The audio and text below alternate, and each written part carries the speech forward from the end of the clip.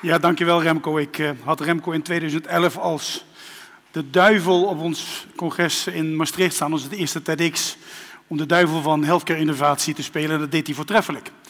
En eigenlijk zou ik vandaag eenzelfde soort rol aan willen nemen, want ik kom eigenlijk, heel eerlijk gezegd, uw feestje een klein beetje verpesten. Ik mag een beetje de partypoeper zijn en ik ga met u in gesprek over niets meer en ook niets minder dan de klimaatverandering. Klimaatverandering die, hoop ik, zeker de komende tijd, onze ogen toch meer open zal doen gaan dan wat we tot nog toe hebben gehad. Want die klimaatverandering kennen we allemaal van dit soort beelden. Waarbij op allerlei plekken op deze aarde het toch steeds lastiger wordt. En steeds moeilijker wordt en vooral steeds meer genegeerd wordt dat dit soort beelden er gewoon zijn. Dus een klimaatverandering waar je niet omheen kunt. Er zijn ook andere klimaatveranderingen, uiteraard. We maken ze mee. En ook deze klimaatverandering, en of je nou voor of tegen bent, die werd compleet genegeerd. En we geloven nog steeds niet, als je vandaag de dag naar Twitter kijkt, dat dit waar is. Je kunt er van alles van vinden, maar dat is wel de situatie. En toch denk ik, als ik kijk naar de ontwikkelingen om ons heen, dat er ook op andere plekken volledig onze notie, ons gevoel ons bedriegt. En dat wel op een aantal momenten hele ernstige vormen aanneemt. Pak je vervolgens echter een stap verder, zeg ik.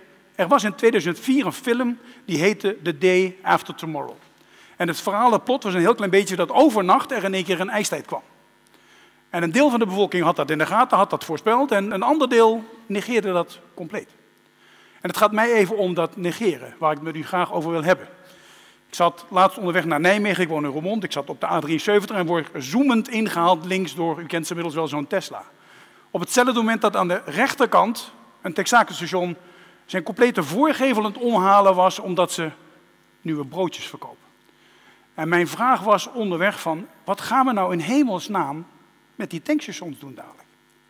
Hoe bereiden oliemaatschappijen zich voor op een toekomst waarin ze niet of op een andere manier voorkomen? Vroeger, we mochten zelf tankstations hebben in ons familiebedrijf, hadden we een kassa en daar reken je de benzine af en daar kwamen op een gegeven moment kwamen er rolletjes erop bij en er kwamen sigaretten bij. En nu moet je bij de broodjesautomaat of bij de broodjeskassa moet je, je brandstof gaan afrekenen. Dan heb je het toch over een kleine verschuiving. En de vraag is, bereidt men zich daarop voor? De analogie met de zorg is deze. Als je naar de dokter wil, moet je een dag vrij nemen. Je gaat fossiele brandstof verbranden, althans veel mensen nog steeds, om naar het ziekenhuis toe te rijden, om nog net die ene parkeerplek te vinden op dat bovendek. Snel naar de afdeling te rennen. Je hebt om tien uur een afspraak. Twee minuten voor tien ben je bij de balie. Hijgend zegt de secretaresse achter de balie doodleuk. Het loopt een beetje uit, gaat u even zitten. Dan word je naar binnen geroepen, net op het moment dat je dat kopje koffie gepakt hebt. Dan ben je bij de dokter. Het verhaal gaat beginnen, de tijd begint te lopen. En die loopt veel sneller dan je toch gewoon denkt. En daarna ga je weer hetzelfde andersom ook terug doen. En dat doen we in een wereld die altijd en overal verbonden is. En hoe raar is dat? Dat we met alle technologie, en ik zou een dag kunnen vullen met allerlei technologie met jullie door te nemen, die er nu op dit moment is. Dit laat een klein beetje een perspectief zien. En ik, heb toch maar, ik kon de verleiding niet weerstaan om één klein dingetje mee te nemen. Dit zijn twee draadloze oordopjes die ik in mijn oor kan stoppen.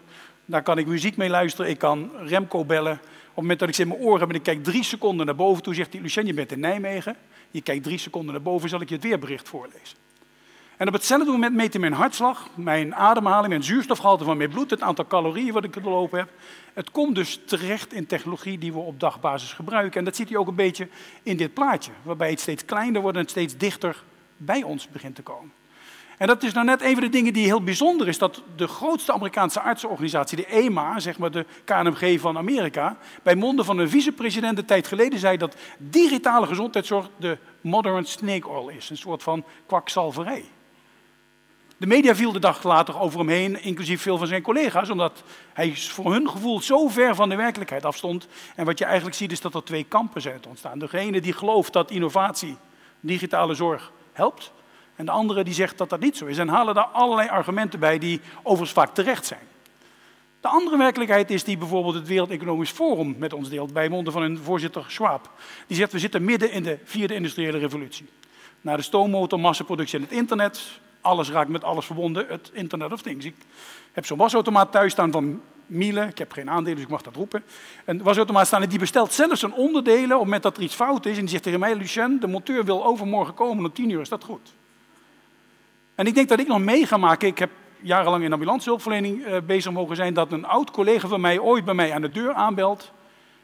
En ik de deur open doe en een collega aankijkt en zei: Hey. En zei: Hey Lucien, ik kom voor het infarct. En hij zegt, maar er is hier geen infarct. En hij kijkt op zijn iPad en zegt, nou, binnen nu en drie minuten wel, ga even zitten.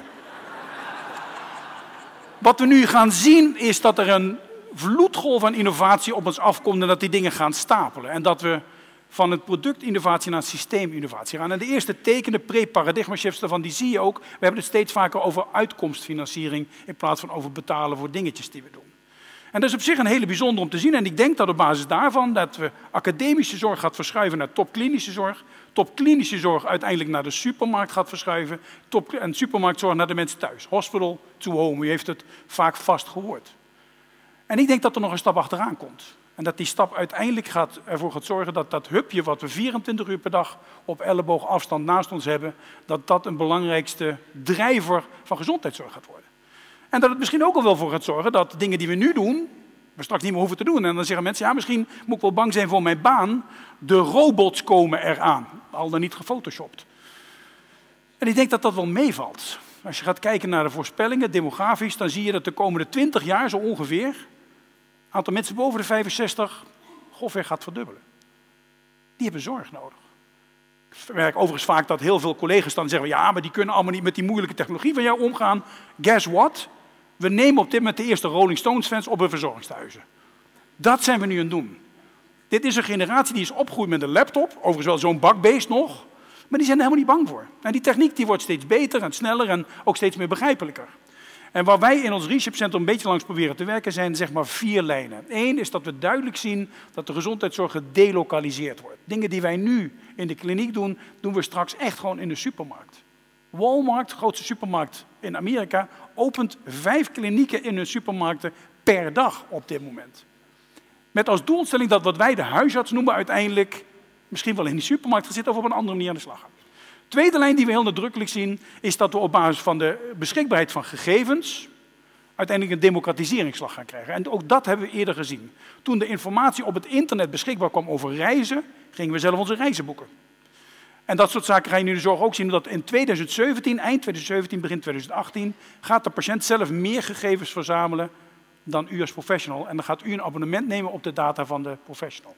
Derde lijn die gaat is dat dingen digitaal gaan. En ik geloof niet dat ik dat hoef toe te kennen. En het gaat over geld. Grote bedrijven zien een enorme markt voor zich waar ze enorme stappen in kunnen zetten. Het mooie eraan en de belofte die ik vind, is dat die 3,5 tot 5 miljard mensen die online gaan komen de komende 10 jaar, ook zorg kunnen krijgen in Sub-Saharan Afrika. Of de kennis die zij hebben meegenomen kan worden naar ons toe. En dan hebben we het echt over global health, zeg maar. Toch even afsluitend terug naar die uh, klimaatverandering. Dit is niet wat je wil. Dit is ook niet wat we voor de zorg willen. Maar ik denk wel dat we aan de slag moeten. En dat we vooral moeten gaan kijken hoe wij ofwel gaan afspreken met elkaar dat het prima is dat de ene helft zegt dat de behandeling, zoals Maroeska vanochtend zei, slechts 50% beter is. En de andere helft ook mag zeggen dat het zelfs 50% beter is. En ik denk dat we daarin een middeling moeten gaan zien te vinden, die er uiteindelijk voor zorgt dat pinguïns, zijn we weer terug bij de klimaatverandering, het meest innovatieve diersoort die er is, u een klein sociologisch lesje gaat geven. Het filmpje wat ik u ga laten zien gaat over innovatie. Aan de rechterkant gaat u dadelijk collega's herkennen. In het midden zit een touw, zie dat heel even als de innovatie. En daarmee zou ik u graag achter willen laten. Ik geef een heel klein beetje ondertiteling tijdens het filmpje. Die innovatie roept uiteraard allerlei verwondering op en we gaan kijken wat er gebeurt. Een aantal onder ons zegt, ik ga niet wachten, ik ga de vlucht vooruit nemen. Compleet in verwarring gaan anderen de andere kant op kijken, die misschien wel hopen, als ik morgen wakker word, is het weg.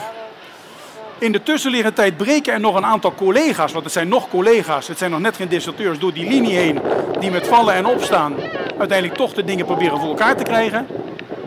En op het moment dat er nog een paar mensen door die linie heen breken, zie je een ander interessant fenomeen ontstaan. Dan komt ook nog eens een keer, zie je dit hier gebeuren, de vakbond op de hoek. Let op, daar komen ze. Daar zijn ze. We zijn vooral tegen, je kunt je dat voorstellen. En op het laatste moment dat er nog een tweetal door die linie heen breken, dan zie je precies een Nederlands fenomeen. We kijken elkaar aan, we draaien ons om en we gaan naar de koffie. Ik dank u voor uw aandacht.